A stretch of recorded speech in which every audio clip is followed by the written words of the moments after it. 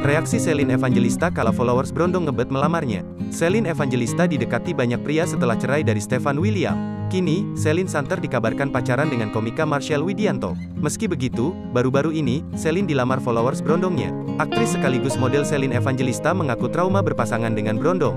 Pengakuan Selin Evangelista itu disampaikan melalui akun media sosialnya. Melalui Instagram story-nya, Selin Evangelista bikin question. Sontak, netizen pun ramai-ramai menyodorkan pertanyaan kepada Selin Evangelista. Kebanyakan pertanyaan yang diajukan seputar syarat jadi brondongnya Selin Evangelista.